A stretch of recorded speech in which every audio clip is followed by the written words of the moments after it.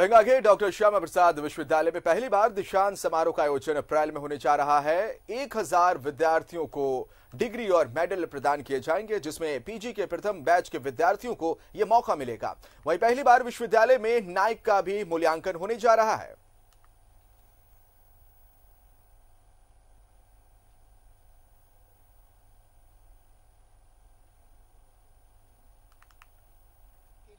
हम लोग तैयारी शुरू कर रहे हैं। पर सबसे पहले तो हम लोग बातचीत करनी होगी।